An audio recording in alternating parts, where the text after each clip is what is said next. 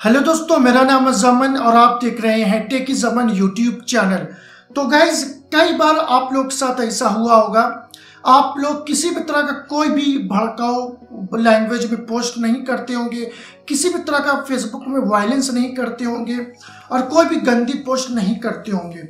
लेकिन बिना कारण के, बिना रीज़न से, बिना रीज़न के तब भी फेसबुक आपके अकाउंट को डिसेबल कर देता है। ऐसा हमारे साथ भी हुआ है किसी भी तरह का कोई वायलेंस हमने नहीं की, ना ही आपने किया, लेकिन तब भी बिना कारण के फेसबुक अकाउंट डिसेबल कर देता है।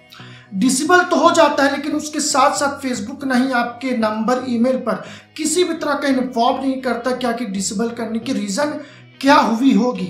फेसबुक कुछ इन्फॉर्मेशन नहीं करता है। कई बार ऐसा आप लोग के साथ हुआ होगा डिसेबल हो जाता है। आप लोग सोचते हैं कि वो अकाउंट हमेशा के लिए बंद हो गया। नहीं दोस्तों, फिर आप लोग क्या करते हैं कि उसको छोड़ देते हो, नया अकाउंट बनाने लग जाते हो। ये गलती है यहाँ पर, ऐसा आप लोग को नहीं करना है।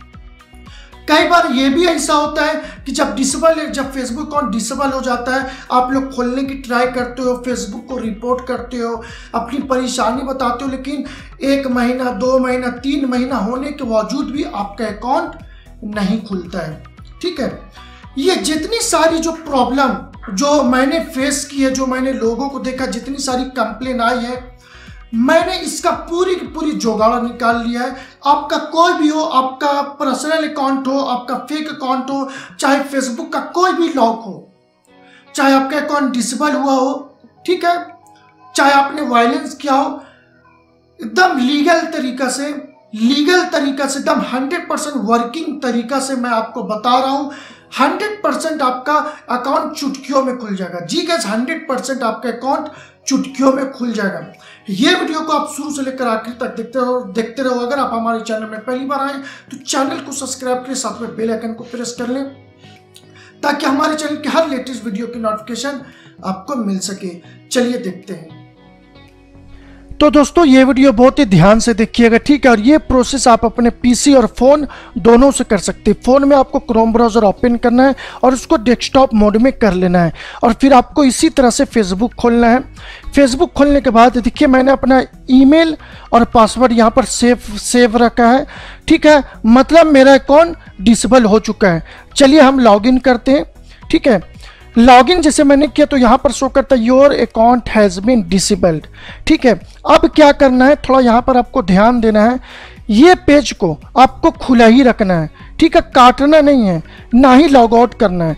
इसके बाद डायरेक्टली आपको न्यू विंडो पेज खोलना है। न्यू विंडो पेज खोलने के बाद आपको एक कॉन्टैक्ट फॉर्म मिलेगा फेसबुक का, जो मैं आपको वीडियो के डिस्क्रिप्शन में दे दूँगा। ठीक है? देखिए, सबसे पहला फॉर्म है ये। ठीक है, इसको हम कॉपी कर लेते हैं और हम लोग ब्राउज़र में पेस्ट करेंगे इस लिंक को और हम लोग खोलेंगे। खोलने के बाद यहाँ पर सबसे पहला जो फॉर्म आता है कॉन्टैक्ट फॉर्म ये है कि आपको यहाँ पर अपना आईडी सबमिट करने के लिए बोलता है। एक बात और, आप लोग का जो जो दिमाग में जो डाउट है, वो क्लियर कर देते हैं। मान लीजिए कि आपका जो आईडी है, वो फेसबुक में रेहान नाम से है और आपका आधार कार्ड में कुछ और नाम है। बिल्कुल टेंशन मत देखिए, एक अपलोड हो गया है, दूसरा वाला अभी अपलोड करेंगे। पीछे का हिस्सा आधार कार्ड में अपलोड कर रहा हूँ। आगे का मैंने कर दिया, पीछे का कर रहा हूँ। देखिए, पीछे का भी अपलोड मैं कर रहा हूँ। एक चीज़ और रख, एक चीज़ और, आपको और ध्यान की बात है। जब आप आधार कार्ड का फ़ोटो लेते ना, कोशिश करें, दम क्लियर आए, आगे पीछे दोनों का दम क्लियर होना चाहिए। किसी भी तरह का कोई बलर ना हो। तो देखिए, आगे और पीछे दोनों का जो मैंने यहाँ पर अपलोड कर दिया है, उसके बाद यहाँ पर आपको सिंपली सेंड में क्लिक करना है। ठीक है? देखिए, यहाँ पर क्या बोल रहा है? Thanks for contacting Facebook you should receive an email response shortly ये बोलता है, ठीक है, लेकिन ईमेल वगैरह कुछ आता नहीं है। उसके बाद आपको सिंपली ओके कर देना है। इसके बाद कुछ नहीं करना है। ये हो गया पहला प्रोसेस ठीक है ना? और आपको जो पेज जो मैंने यहाँ पर खुलवा के रखा है, इसको काटना नहीं है। ठीक है ना, इसको खुला ही रहने देना।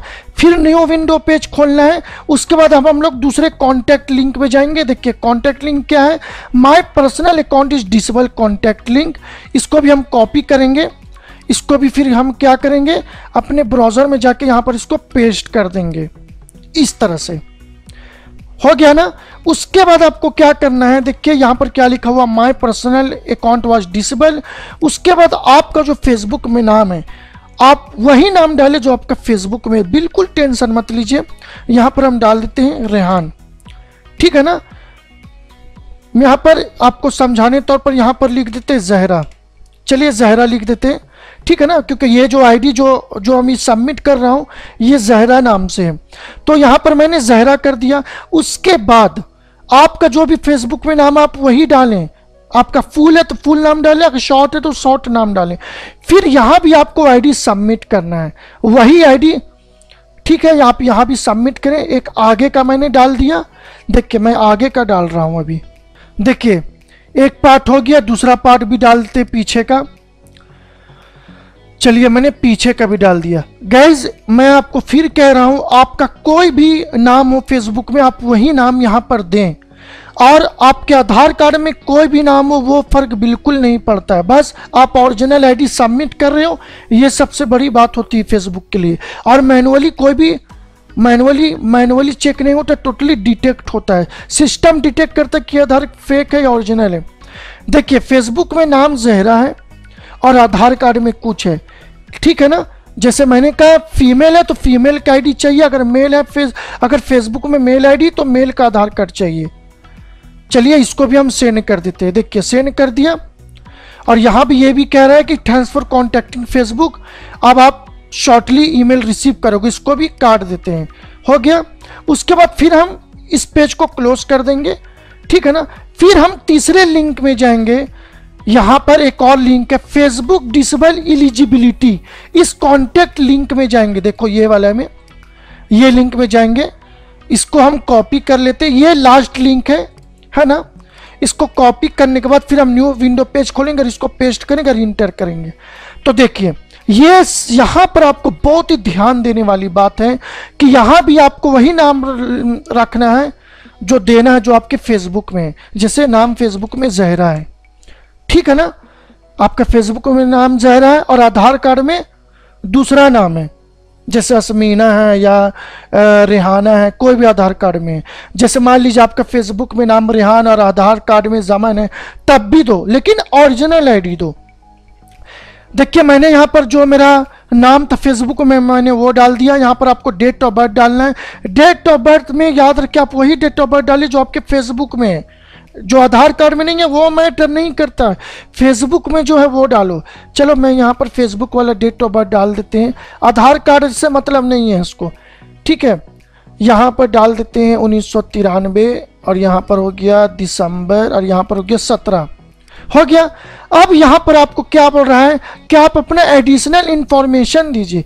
कि आपका अकाउंट डिसेबल क्यों है? जैसा कि मैंने आपको कहा कि बिना रीजन बिना कारण के अकाउंट डिसेबल हुआ है। अब फेसबुक को हम क्या बोलें? तो मैंने एक स्क्रिप्ट तैयार करके रखा जो हम लोग फेसबुक को भेजेंगे। क्या क्या करना है? तो देखो यहाँ पर। सबसे पहले चीज़, बहुत ही ध्यान से रखो, ये प्रोसेस आपको सिर्फ़ तीसरे वाले फॉर्म में करना है। इस फॉ इस वाले कॉन्टेक्ट लिंक में करना है और क्या का फेसबुक को बोलना है? हाय फेसबुक मेरा नाम, मेरा रियल नाम असमीना खातून है आधार कार्ड में, लेकिन मेरा निक नेम फेसबुक है सॉरी मेरा निक नेम जहरा है फेसबुक में। समझिए दोस्तों, मैं अच्छे से पढ़ के बता रहा हूँ। हाय फेसबुक मेरा रियल नाम असमीना है और मेरा निक नेम जहरा जो मेरे फेसबुक प्रो जो मेरा फेसबुक प्रोफ़ाइल में नेम है। आपने मेरा अकाउंट बिना कारण के डिसेबल कर दिया, जबकि वहाँ पर कोई भी गलती नहीं थी। किसी भी तरह का कोई वायलेंस नहीं है, लेकिन बिना रीज़न के आपने हमारे अकाउंट को डिसेबल कर दिया है। मैं अपने किसी भी तरह का बिज़नेस या अपने फ्रेंड फैमिली को कांटेक्ट करने के लायक नहीं बन, बनी, नहीं कर सकती कांटेक्ट नहीं कर सकती। बहुत प्रॉब्लम हो रही है। उसके बाद फिर आपको क्या करना है? यहाँ पर लिखना है I am sending you my identity proof या गूगल ड्राइव तो आपको क्या करना है? एक आधार कार्ड के एक आगे और, एक आगे और पीछे गूगल ड्राइव में अपलोड करके उसका लिंक आपको इसी तरह से जैसे मैंने यहाँ पर दिया है, ये गूगल ड्राइव का लिंक ताकि वो खोल के चेक करके हाँ इसकी आईडी ओरिजिनल है। उसके बाद फिर आपको अपने फेसबुक का ईमेल अगर आपका फेसबुक ईमेल से बना हो तो ईमेल दीजिए, अगर आपका नंबर से बना हुआ है तो सिर्फ़ नंबर दीजिए। उसके बाद ये पूरा मैसेज को इस और एक बात और एक बात और।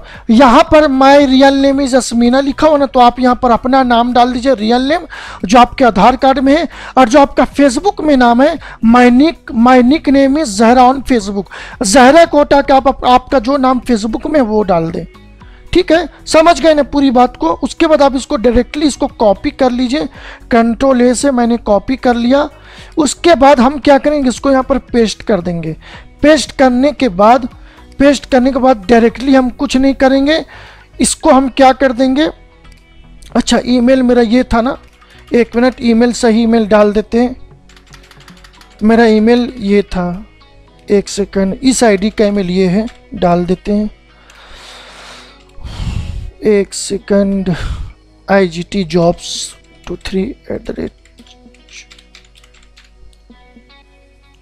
है ना? और चलिए।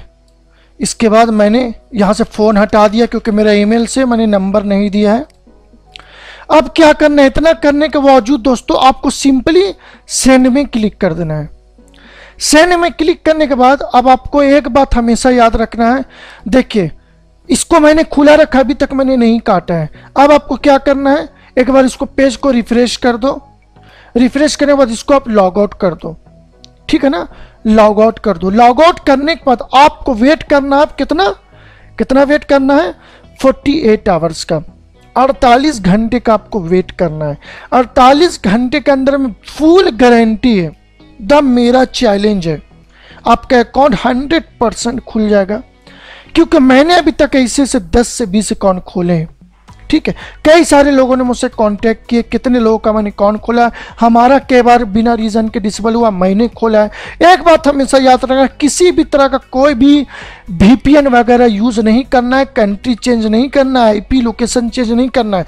देखो, ये मैंने जितना काम किया, देखो, मैंने गूगल खोला, इसके नीचे हमारा लोकेशन शो कर रहा है इंडिया कोई भी मैंने वीपीएन वगैरह कुछ नहीं किया है, ये चीज़ का ध्यान रखना। ये बिल्कुल राइट तरीका, एकदम लीगल तरीका है और बिल्कुल 100 परसेंट वर्किंग तरीका जिस तरह से फेसबुक कहता है। ठीक है? आप इसी तरह से करो।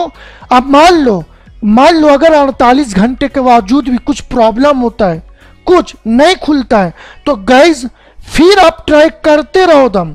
उसी तरह से ट्राई करते रहो। मैं फिर समझा देता हूँ, अगर आप एक फीमेल हो, आपका फेसबुक नाम जहरा और आपका आधार कार्ड में असमीना है तो आप आराम से दे सकते हो आइडेंटिटी कुछ दिक्कत की बात नहीं है। अगर आपका नाम फेसबुक में रेहान है अगर आपका आधार कार्ड में जमान है, तब भी दे सकते हो, क्योंकि मैनुअली चेक नहीं होता है आईडी सिर्फ़ फेसबुक का जो अलगरिदम है वो सिस्टम डिटेक्टर है। मतलब वो ये चेक करता है कि आधार कार्ड फेक है या ओरिजिनल है।